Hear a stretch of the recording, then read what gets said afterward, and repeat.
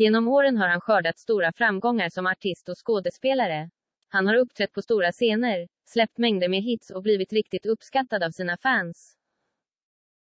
På det privata planet och bakom rampljuset så är Marco även en kärleksfull pappa till sina tre barn som han har tillsammans med exfrun Jessica Lehtosalo Westergård.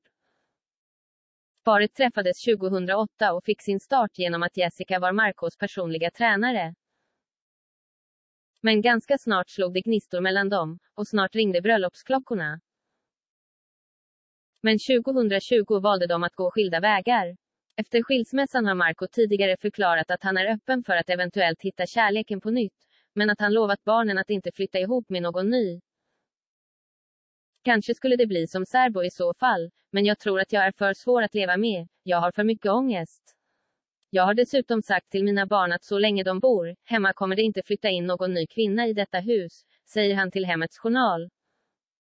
I en ny intervju med Aftonbladet så avslöjar nu artisten att han inte dejtar någon, och att han inte heller letar efter ett förhållande. Jag trivs väldigt bra ensam. Jag ser inte en tårtbit av kärlek i mitt liv just nu. Kärlek till barnen och till mamma finns såklart, men om man tänker på förhållanden. Jag vet inte hur jag skulle få plats med den.